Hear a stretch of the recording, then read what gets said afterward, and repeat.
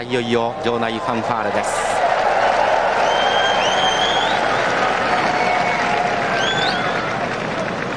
17頭が軽く輪乗りを行っています。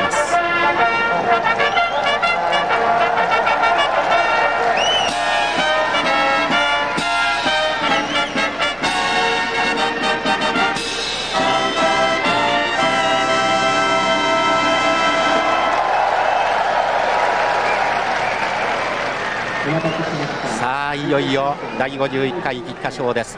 馬場アナウンサー2回目のリポートをどうぞ。はいあの各馬非常にこう気負いって言いますかね。大変気合が乗ってるんですがあの蔵の下に汗をかいている馬も目立ちます。そんな中でメジロマクイーンが特にこう落ち着きというか悠然とした感じで今先に誘導されました。それから鶴丸に股を一旦嫌ったんですがこの後収まっています、えー、予定ではメジロライアンが最後のゲートになると思います。はいあと何頭ですか？あと6頭5頭ですね。はいえー、今、日動サンダーですね、シンボリデーバが入りました、いよいよあと1頭ですね、馬場さん。いよいよ18番のライアンです。はい、これが入りますと、ゲートが開きます、17頭です。さあ、スタート体制が整いました、馬場コンディションが重。ゲートが開きました。おっと好スタートは日動サンダーです。あとは一斉。日動サンダーが好スタートでまず飛び出しました。3番が東イースト。これを追ってマイネルガイストが行きました。黄色い帽子2つ。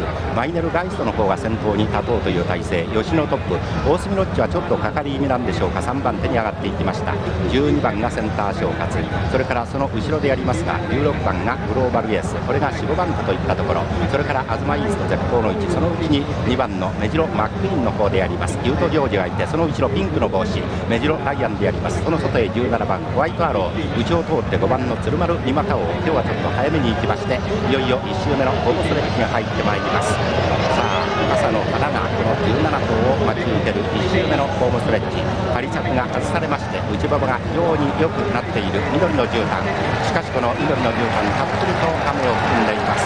ご覧のようにスタンドをバックにして17頭に向かいますメジロライアンが絶好の位置ちょうど中段外外を通ってメジロライアンはちょうど中段であります。ゼッケン18番のメジロライアン。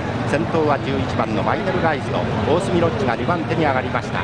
東イーストであります。ユートジョージがいてホワイトストーンはちょっと後ろ白い帽子でありまして内々を通って後ろから4、5頭目といったところであります。もう一度先頭から整理しましょう。先頭は11番のファイナルガイスト2番手に6枠の2頭大隅ロッチが外14番14番が10年ぶりの九州サンバ吉野トップその外からセンター昇格はややかかり気味メジロマックイーンが絶好の手応え不気味な黒い帽子2つその後ろに3番の東イーストは菊花賞男菅原康夫それから16番のグローバルエースがいてその後ろおっと外からピンクの帽子メジロライアンいい感じで上がってまいります。10番が日動サンダーそれから5番が鶴丸三股を引き連れてメジロライアン外を通ってゆわっと差を詰めたそれからレッツゴーターキン1番のホワイトストーンは柴田正人その外へユートジョージ7番がブルーメモリ9番がメルシーアトラ河内17番ホワイトアローそして4番ダバラス駅健康一的直線追い込んでくるかシンボリデーバさあ17頭第3コーナーこれから坂を上りますいよいよ菊花賞の正念場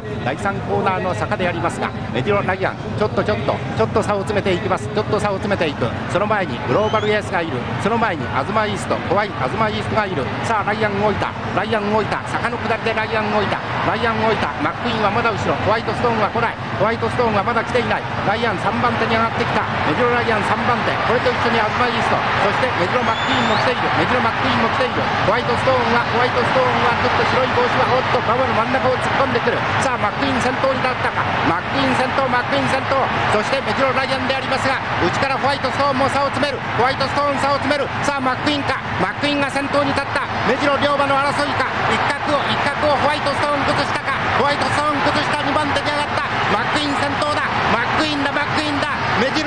ックイーンの方だ内田浩一ガッツポーズメジロマックイーン。